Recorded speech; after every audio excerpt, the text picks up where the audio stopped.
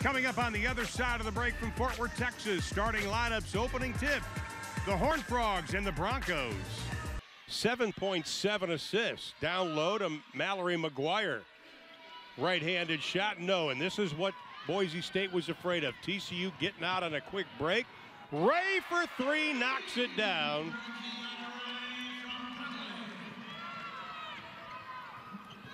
Boy, that's just what they thought would happen. Deep in the corner, splash sister number one. Out front, Lauren Heard, the junior out of Denton Guyer High School.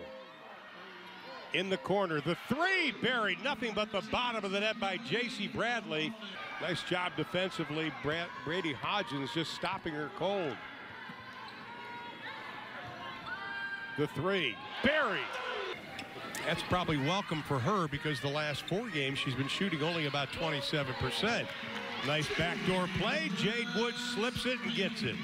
About a 10 second difference shot of the game clock here in the opening quarter and they throw it away again.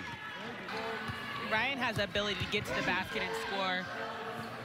See right up there. off the glass, count it. Boise with a second and a half to go. Christopher's not going to be able to do anything. Heard out front. In the corner, Bradley got it. That's a three. Went straight down to the back bucket.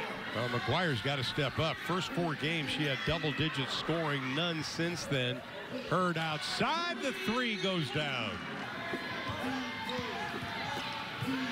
Riley Lupfer is in the lineup on the drive. Count it. Catching those errant passes, uh, they were high, not catchable. But if those passes came down a little bit, it would have been a much closer game. Lauren Heard knocks down another three, her third of the ball game. Coaches were telling me how much time they put in shooting free throws. On the steal, Heard. Christensen to beat and does. Mallory, great position inside. Mallory McGuire with the two. That's what we talked about at the open, the stingy defense. Okomalafe gets the home court bounce. Third quarter has been the only quarter in which the Horned Frogs have been outscored this season. But they start out forcing the turnover. Heard with the pick to the hole, counted. And one. You know, if you get another foul, then you, you know at that point you go sit down. But you still got to play with the same intensity. Lupfer got the three. The southpaw knocks it down.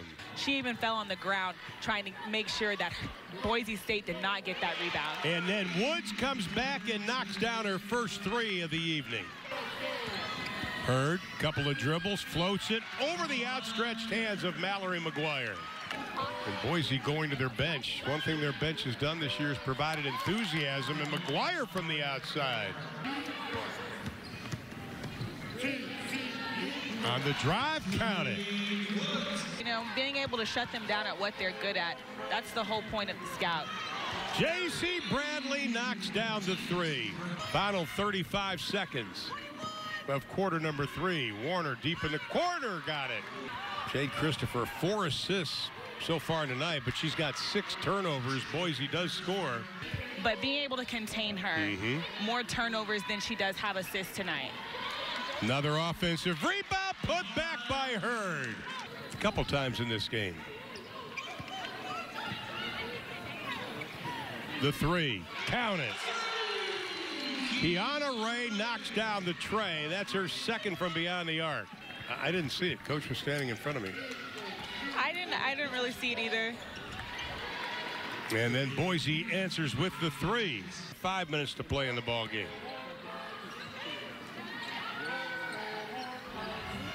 Kick it back out the three by Michelle Berry. Hodgins keeping an eye on Heard.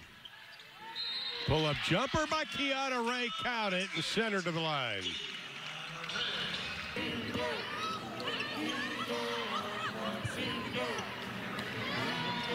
Hooley inside got her first two as a Horn Frog.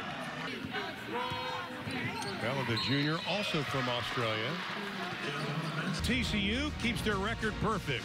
They defeat Boise State once again, the final 77-65.